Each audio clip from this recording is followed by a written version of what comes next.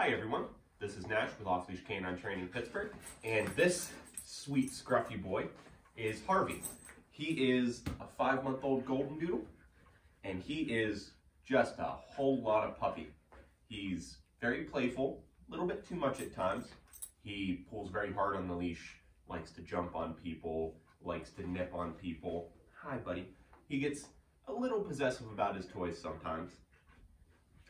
Uh, and all these are a bit more of a problem because Harvey lives with a couple of kids. So, let's see what he already knows. All right, bye-bye.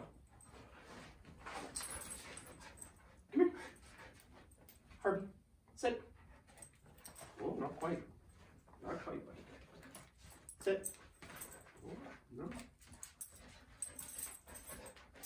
Sit. Good job. All right, down. Hey, nicely done, my friend. So, as you can see, he definitely knows a little bit, but it's a lot of room to improve. Let's see what we can do in two weeks. Perfect.